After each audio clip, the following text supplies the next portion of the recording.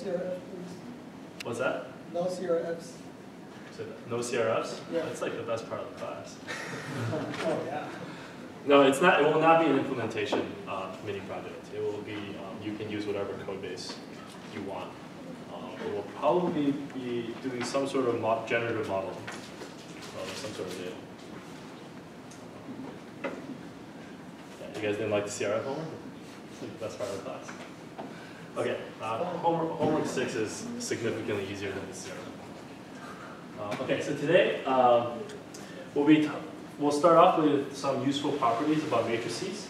These will be useful for the homework. So in the homework, homework six, you'll be asked in the first part to prove some properties about these SVDs, PCA, latent factor models.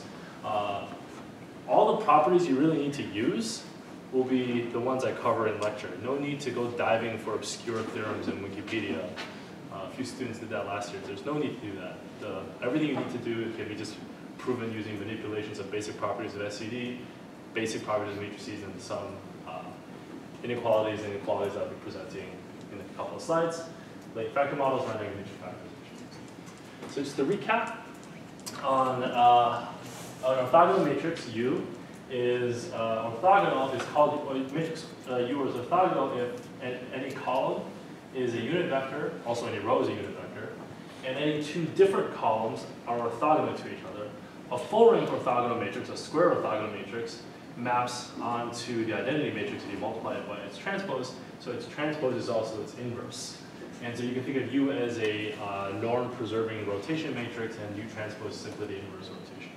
So x prime equals U transpose x, so we rotate, if this is x, we rotate it according to, so that these axes are now the uh, canonical axes, right?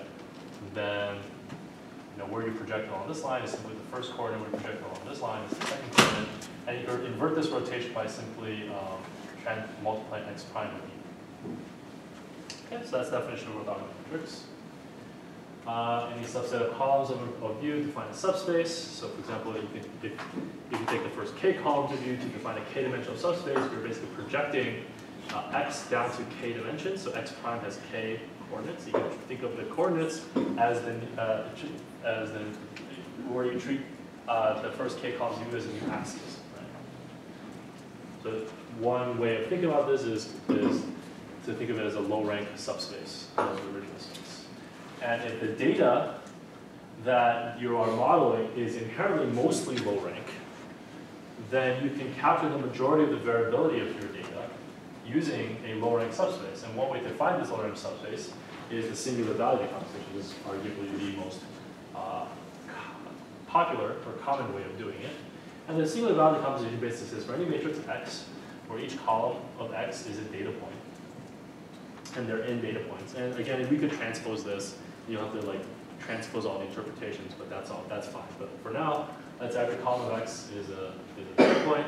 Then we can always find a decomposition of X into U, into an orthogonal matrix U, a diagonal matrix sigma, and an orthogonal matrix V transpose, and we transpose. Right? And the specific property of the SVD is that uh, typically when you call SVD in MATLAB or Python, the, the columns you get, the, the, the U's, V's, and sigmas that you get is sorted such that uh, the first k columns of U gives you the very best uh, k-dimensional subspace that captures the most uh, variation of your data set. And what that is equivalent to minimizing the residual error if you try to reconstruct each data point using its projection. Right, recall that um, this is, this is uh, if this is, uh, if we're just projecting onto the one dimension, a single column vector, we get something like this, and we back projected, we get something like this, right? So this is the reconstruction of this data set using just one uh, SVD dimension, right? And the way that SVD is typically implemented, the first k columns of U gives you the best k uh, compression, and then reconstruction by this uh, multiple by U. We also talked about PCA, principal component analysis, in the previous lecture. PCA is just takes a data matrix X and multiplies it by its transpose, so now you're looking at the feature covariance matrix of your data set, so how much individual features covary. And then it finds this decomposition of the same orthogonal matrix view on both left and right and diagonal matrix lambda. Turns out that this is, uh, there's an equivalent for, for data set, for S, for matrices that look like this, there's an equivalence between PCA and SVD, uh, like so. So these two U's are exactly, exactly the same U, and this uh, lambda is simply sigma transpose. Sigma squared, Sigma squared. sorry, not transpose, sigma squared. Yep.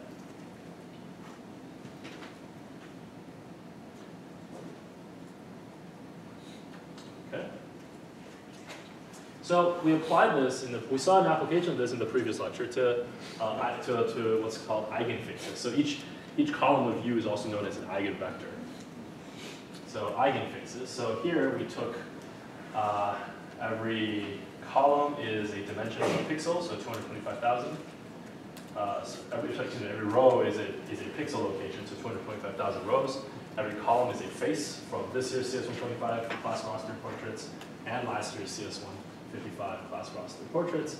We decomposed this matrix into U, V, and then we folded the sigma into U and V by just left multiplying, right multiplying to U and V. So we get, so I call U prime and V prime. And then if you visualize the columns of U, so there's K, so K K equals 12, and if you visualize the columns of U, you get something, you get something that looks like this, right? So these are the sort of the, the directions of most variability, most variability in pixel space of CS125 class roster portraits. But this is just an application. Okay, so matrix norms. So there's two norms that are important in this class for matrices. One is the Frobenius norm, and the Frobenius norm is basically the square root of the square of every entry in the matrix. So you take this, you take it, you go elementize of every entry in the matrix, you square, you take the squared value of that entry, you sum it up and take the square root. And that is the Frobenius norm. It's equivalent, if you do the singular value decomposition of x, it's equivalent to just taking the sum of squares of this of these singular values. The trace norm is the simply the sum of the singular values. And the singular values are guaranteed to be the non-negative. So you could also do absolute value if you want, it doesn't change anything. And it's equivalent to uh, taking the trace of the square root of the matrix times itself. So these are the two norms that are important for this class. What are some properties of these matrix norms? Well, uh, the squared Frobenius norm uh, can be modeled as this. So the trace of x transpose x is also known as the matrix dot product. Just like if, if x was a vector, column vector, x transpose x would just be a single number, and the trace of a single number is just that number back. So the trace doesn't do anything here. So this is a generalization of the dot product to matrices. Okay? And so this equals this, if we sort of write it out in, in its, in its singular value composition, which equals uh, this. This is just exploiting properties of traces, and it equals this. Yeah. And you could also verify that the trace of this um, gives you this squared. Yeah, The sigma i's are eigen, eigenvalues of X transpose, right? they're the eigenvalues, sigma squared are the eigenvalues of x, x transpose. Sigma is the singular values of x. Of x itself, Yeah. but then there is no reason that they should be real numbers, right? Uh, Singular values are, singular values are always non-negative real numbers, I believe. It's a matrix, it's symmetric. I mean, for X, X transpose, that's correct, but for a general matrix X, no, because the singular values are the basic eigenvalues of x transpose, the square root of the eigenvalues of x transpose x. I understand that this norm is the sum of the square values, uh, sum of eigenvalues of x, x transpose, but I'm saying if you take sigma i's to the eigenvalues of x, they don't have to be real numbers. But it's The not. norm squares are real numbers, so you can define that, But but those are singular values. They have to be. I I think the singular values have to be non-negative real numbers. For a symmetric matrix. No, for any matrix, the singular values are Singular necessarily, values. eigenvalues aren't necessarily, the singular values have to be. No, Yeah. no, you get a polynomial that can have complex. There is one way to resolve this that does not Those require singular values- debating. Eigenvalues are not singular values. Eigenvalues are very similar. That's the definition of singular value decomposition. Not eigenvalues. You can define this to be sum of norms of All right, all right, no, no more, no more, no more debating. We're gonna just, uh, we're gonna find the fast one. All right, here we go. Oh my, that's a very large font.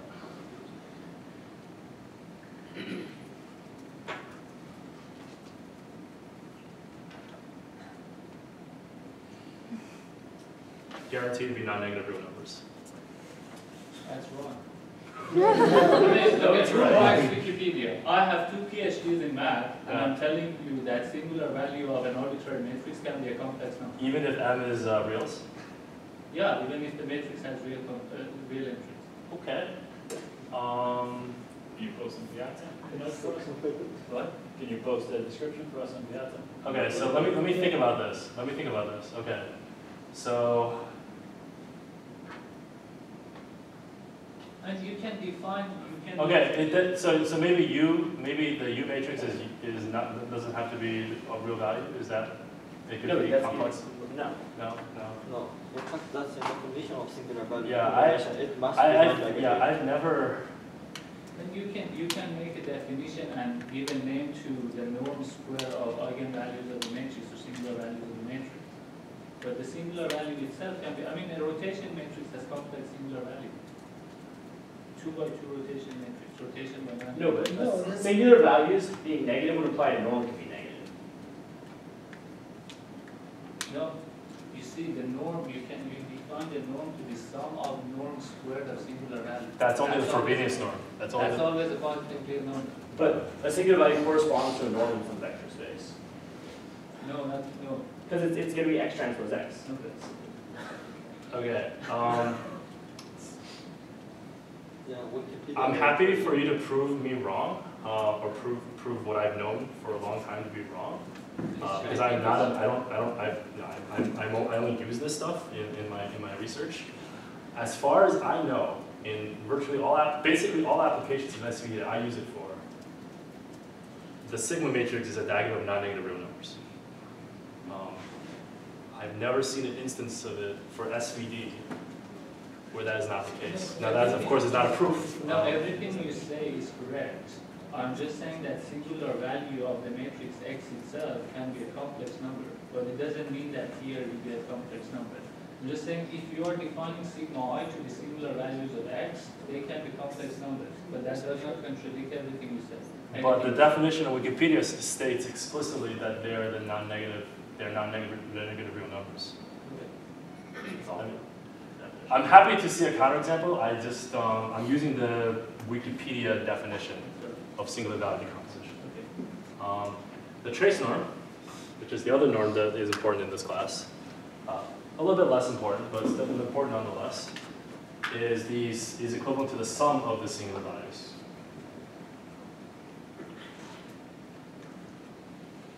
And the way you derive it is, um, it's, it's, it's equivalent, well, it's equivalent to all of these by, by, by modifying the the by using the, using definition of the trace. In particular, uh, I mention it's equivalent to this guy, right? This is the, one of the definitions of a trace norm. The trace of the square root of x transpose x, which looks like this.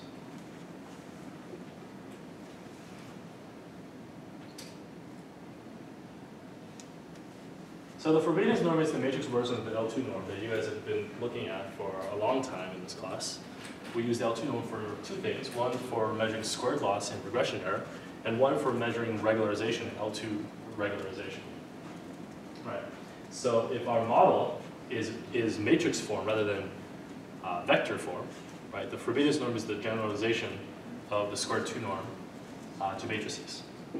And we'll be looking, and you know, yes, uh, la- last lecture we saw matrix valued uh, parameters, which is the u and v we estimated from the eigenfaces. Those are, you can do this as parameters of your model.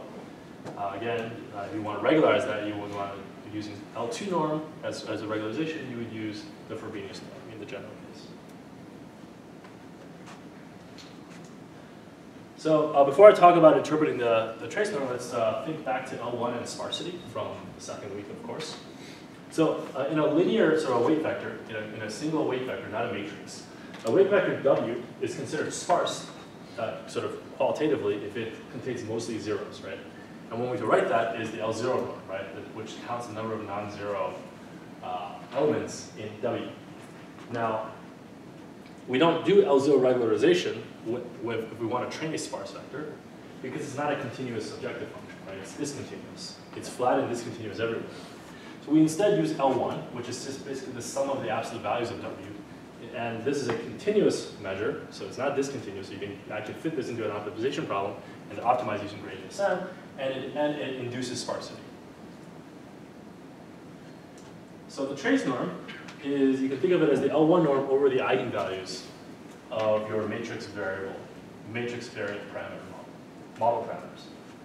So suppose we wanted a, uh, a model parameter, x, suppose x is our, is our parameter of our model, and it's matrix form, and we want, we want to regularize it to be low rank, right? To have few, which is equivalent to having few non-zero eigenvalues. So the rank of x is equivalent to summation over the eigenvalues, or the singular values, sorry. I should, I should have said singular values.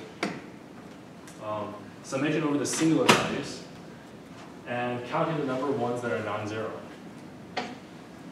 Of course, this is not continuous, right? Just like how L0 is not continuous.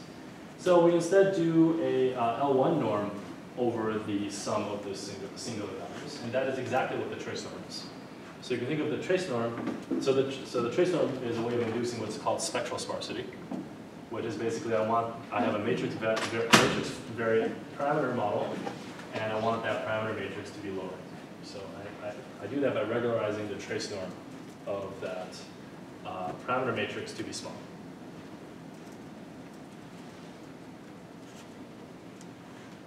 So here's some other useful properties of uh, matrices. Um, some of these are generalizations of, uh, of vector, uh, vector algebra, like Cauchy-Schwarz, geometric mean inequality. Uh, so many, these are the, these plus basic properties of SVD and, uh, and traces and stuff like that is all you need for the homework. So just manipulate, applying these in the right way will give you the solutions to the homework. So just to recap, um, SVD, definition of SVD, definition of PCA. The reason why this is sort of, the, the main, the biggest reason why this is important is because we like to find a low dimensional or low rank approximation of X such that it preserves most of the variability of X. Or, what should be a, yes, thank you, it's been a long, right. Okay, let's just move on before everyone else notices. Uh, I'll fix it after class. Um, Latent factor models. So this is the meat of the uh, lecture today. Um, so this is the Netflix problem. Uh, it should look very familiar to the eigenfaces problem. We have m users, so each row is a user. We have n movies. Uh, each column is a movie, and you know the, the actual which which is row, which is column doesn't really matter. Um, this is I just use this uh, orientation arbitrarily. And um, the, I, the hypothesis is that um, the variability of how users rate movies, like which movies you like, uh, is lies in a, is most can be captured using a low-dimensional model, a low-rank model. Right? So y sub ij is the rating that a user i gives to movie j, right? And we want to approximate this, right? Compress this using uh, you know, rank K matrix U and rank K matrix V, where each, uh, each row of U corresponds to a user and each column of V transpose corresponds to a movie, and then the rating that user I gives to movie J is just uh, UI transpose Vj. It's the inner product of the- one of these vectors and one of these vectors. So what does this, what does this mean? This means that even though we just have this matrix of ratings, we, by doing this low rank decomposition, we've, we've actually learned a feature, a feature vector, if you will, for each movie, and a feature vector for each user, such that we can predict their ratings by a linear model over users and movies. So here's an example from the, uh, oh, this is uh, wrong. I thought I deleted that. Must not synced with this Dropbox. Okay, so the main project two will not be this. Um, uh, this is from the original, or one of the original uh, Netflix papers where they learned, trained this latent factor model on the Netflix data uh, about 15 years ago now. It's a long time Um, and so then they took a two-dimensional embedding of the, or the top two, um, the top two singular vectors, top two columns, and they visualize them. So, um, so here are uh, visualizations of V. So V is a movie. So um, Braveheart is over here, Amadeus over here, Lion King, Rapunzel over here. Okay. And then you know the way you think about how any particular user would like uh, would rate a given movie is you know suppose a user would had had a point here. This is Gus. Then Gus has a high uh, inner product with Independence Day because it's just the cos it's just the unnormalized cosine scalar between this vector and this vector. And so Gus would rate Independence highly. Gus would rate uh, the color purple very poorly. And so the reason why you know this visualization might make some sense is because if you think that uh, different movies, movies that are similar are rated similarly by uh, similar people, and, and people are similar because they like similar movies, then you can think of the location of each movie in this embedding, in this sort of visualization of, the, of, two, of a two-dimensional version of V as being indicative of what other movies it's similar to. And with that, we can start making some interpretations of what the axes mean. So for example, um, this is in the paper, they just sort of made an interpretation from visualizing these movies in a two-dimensional V, that movies over here are more geared toward females, know, roughly speaking, approximately speaking. Movies over here are more geared towards uh, females, more serious on top, um, on the upper movies, and more escapist on the, sort of the lower movies. Think I use it just an approximate interpretation from the visualization, but this is something that you can get out of this type of uh, this type of model. And the basic idea is that we basically quote unquote learned a feature representation of the movies, and now we're trying to see what each feature in the feature representation corresponds to by visualizing it. Of course, the actual Netflix problem did not have a full parameter matrix, uh, full observation matrix Y of every user rating every movie, and in fact, the vast majority of Y was missing, right? The vast majority of Y we didn't have data for. We only had data for a small fraction of it. But nonetheless, we still want to learn this model, right? So this problem is called, uh, so th uh, this problem of trying to figure out the missing values of y is called collaborative filtering. This approach to collaborative filtering is called a latent factor model approach to collaborative filtering. So the collaborative filtering problem statement is there are n users, this is the most basic version of the statement. There are n users, there are n items, we observe a small subset of user item pairs that have ratings, most are missing, and the goal is to find some kind of model that can predict the missing values of this observation matrix. And this is applicable to any type of user item rating problem. Amazon, Pandora, Spotify, uh, so on and so forth.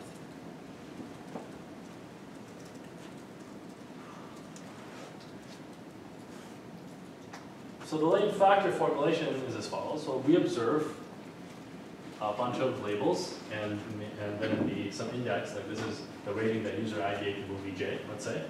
So it's labels. The goal is to learn a latent representation over users and movies such that um, their linear, the, the, the, a linear model over this latent representation can well approximate the observations that we do have. So this ij sums over the training set, the training observations that we do have access to, and our goal is to find a u and v such that their inner product uh, matches the training observations that we do have and subject to regularization. Where k, where um, u, where the length of u and v, let's see, do I have a, uh, nope, I don't have it. So, okay, so the length of u is, is, the, is the number of dimensions in your, uh, in your uh, uh, matrix decomposition. So if we do observe, if we did observe every entry in y, then this is exact, this part of the problem is exactly the matrix decomposition problem in SVD. But we don't. We don't observe every entry in y. And so we're just going to try to make the hypothesis that there's some small number of features, a k, let's say, such that a k-dimensional vector can summarize every user in every movie, and then we would just fit that to the data we have, and hopefully that can help us make generalize to the rest of the missing values. So there's a connection to the trace norm, this objective function. So, suppose we consider all u and v that could potentially achieve perfect reconstruction of y, um, if y was completely filled in. And we want to find the u and v that has lowest complexity, as measured by the two mode, right? This is, this formulation is actually equivalent to the trace norm of y. And you'll have to prove this in the homework. And here's, I actually gave you the proof in one direction. Um, so you just have to prove the other direction. Um, to prove uh, this is greater than this, you just uh, you just posit that A equals this and B equals this, and then show that they're equal. And that gives you one direction. You have to prove the other direction uh, in the uh, in the homework. And again, just use the stuff I presented in the beginning of lecture. Don't need to get it too fancy.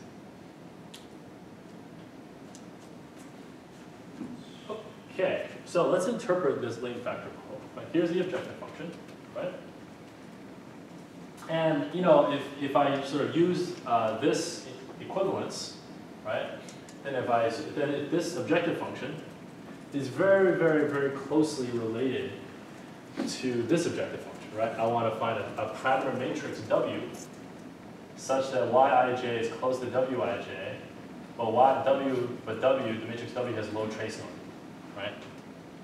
Because of, because of this equality, this is very closely related to this problem.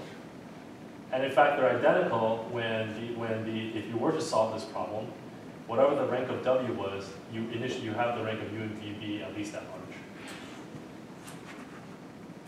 So what does this mean? This is saying I want to find the best low rank approximation to Y. Yeah? If Y was completely um, completely filled in, this is very similar, this is very closely related to the SVD, right? But here, Y has missing values.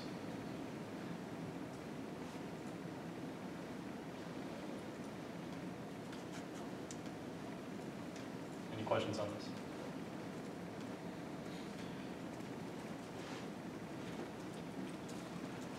In fact, for this problem, you already specify the dimension of U and V. So typically in practice, you you pre-specify the dimensions of U and V.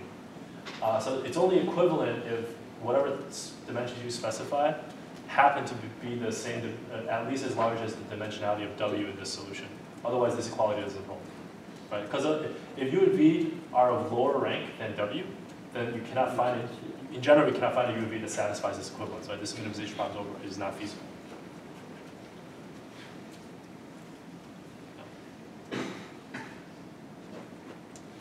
Okay, so if you look at this obj- op- optimization problem, there's actually a symmetry between here between users and movies. Traditionally, uh, at least conve- uh, the convention that we've, been, we've adopted for most of this class is that one side is the input feature input, and the other side is what we predict, right? Given a movie and a user, pre- predict the rating for this user, right? So if V, if V is the input feature, U is our model, right? But there's actually in this problem, it's completely symmetric because of the fact that our prediction problem, well, one reason is because, one way to interpret why is because our prediction problem is matrix variant and we could treat any dimension of the matrix as the prediction problem. So we could say that each user is a feature vector and each V is a model because we want to learn, we want to predict for any given user whether or not this, uh, this movie is good for them, right? Normally, of course, we want to say for this given user, that's what they would use in, in the actual web application. For this given user, what are the movies that are good for it? But there's no way, reason why you can't flip it aside, flip it around mathematically. Right, so if we knew V, then this problem is a linear regression to learn the U's, right? It's linear, just L2, least squares linear regression. If we knew the U, then this is linear regression to learn the V's, right? We just treat the U's as features. But the problem is completely symmetric from that perspective. Okay, so this is the optimization problem. So this, by the way, uh, is a non-convex optimization problem.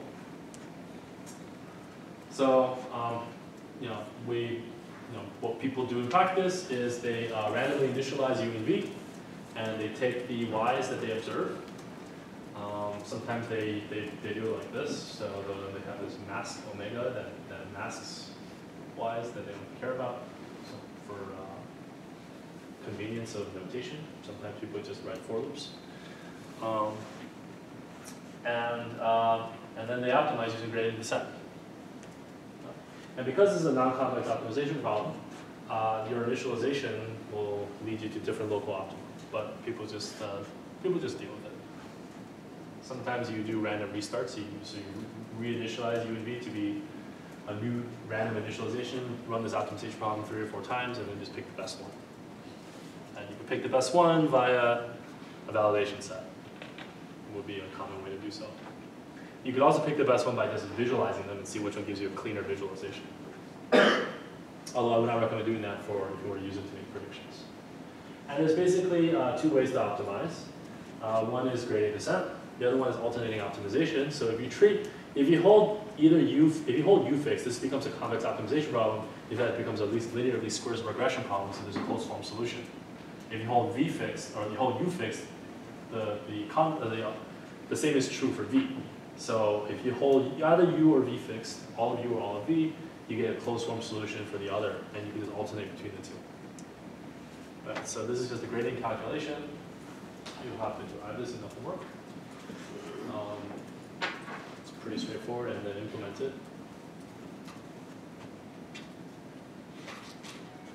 And you know, if you set this gradient, so this is just for a single, uh,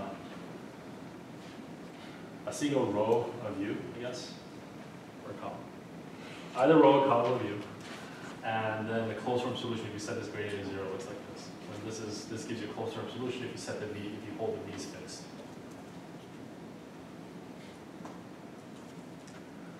Uh, gradient descent, you could do the standard stochastic gradient descent.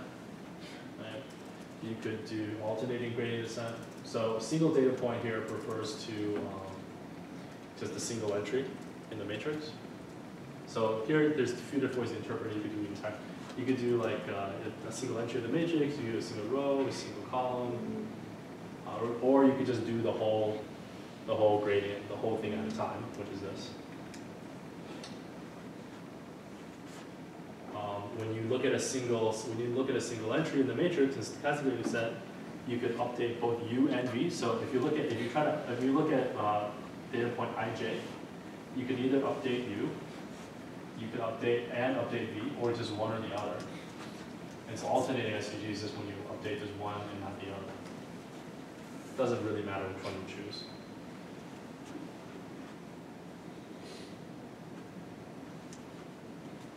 This is, this is just alternating optimization, where you solve, where you can solve for each u or v optimally if you hold the others fixed. This the least squares closed form solution.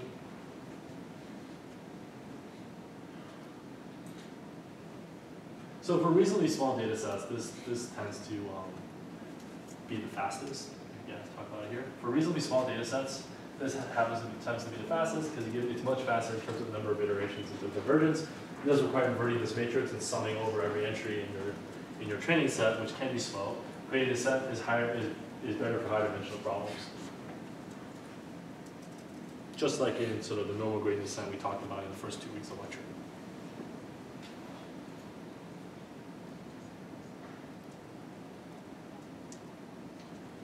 So this is just another visualization. So um, for this one, uh, the, the authors of the, so there was a, I should mention a little bit of history. There was a machine learning competition called the Netflix Challenge about 15 years ago. Um, the Netflix, in the Netflix Challenge, Netflix released a data set